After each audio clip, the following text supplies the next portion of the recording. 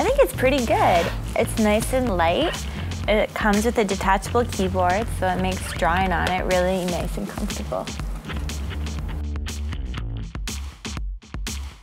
Um, so this is the position I feel more, most comfortable with, but you can have it go down a little bit lower so it's almost flat against the table. This I find a little bit too low, but I can really see how some people would like it to get over their work, to really look at it. But I prefer it about so. So it's nice though that you can adjust it to the, to the angle that you feel most comfortable with. So for me personally, I come from a designer uh, point of view as well. And I don't like that you can't use your hotkeys when the keyboard's not connected.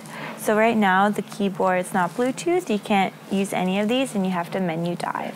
So I find that slows me down a little bit, but you can just simply snap it back on.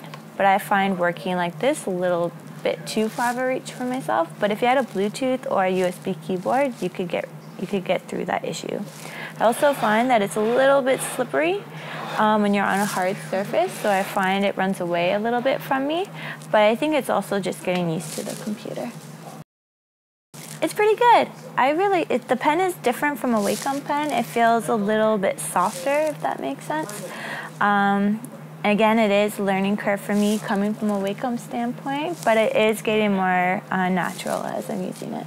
And you're using the old pen, correct? Yeah. So that's not the new Surface Pro. No, it's not the new Surface. Uh, it's not the new Surface Pro pen, which I hear has tilt action and has more capabilities than the original one. The keyboard's pretty good to type on. It's nice and small. It's also illuminated, so it's great for whoops dark areas.